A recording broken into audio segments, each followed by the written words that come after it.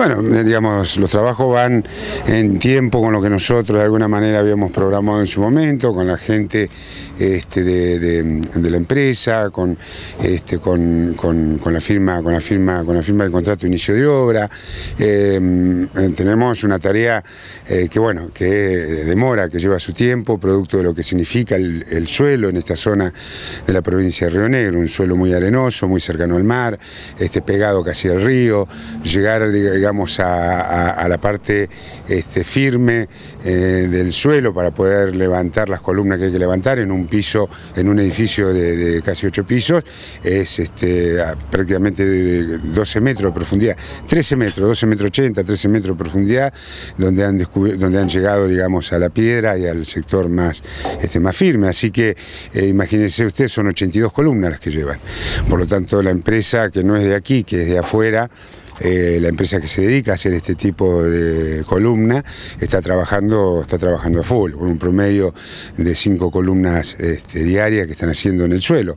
Una vez terminadas esas cinco columnas diarias que van en el suelo, recién vamos a comenzar seguramente a ver hacia arriba. Hoy lo que vemos es pozo, como en toda obra. Seguramente una vez terminado allí vamos a comenzar a ver cómo avanza la obra, este, si Dios quiere, hacia arriba con el resto de los, de los, de los, pisos y con, y con el edificio. Una obra que bueno, va a llevar eh, un par de años. Nosotros habíamos dicho que para la localidad de Viedma, en el ámbito legislativo, esta obra representaba el cierre de la ciudad legislativa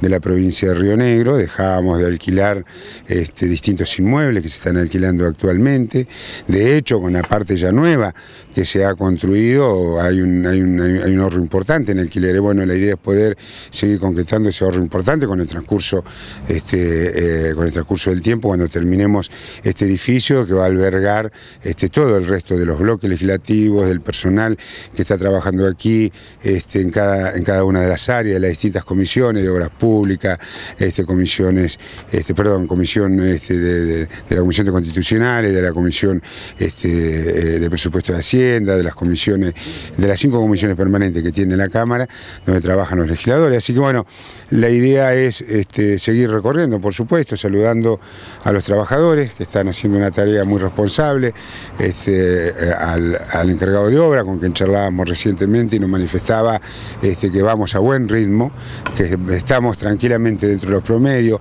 no nos hemos encontrado con tiempo malo, por suerte, con grandes lluvias que nos permitan parar por, por, día. Está previsto esto, ¿no? Pero bueno, por suerte venimos muy bien con esto, que es la parte más complicada, si, si lluvia no podemos trabajar en este pozo con los pilotos. Así que bueno, la verdad que contento de, poder ver cómo, cómo se va avanzando.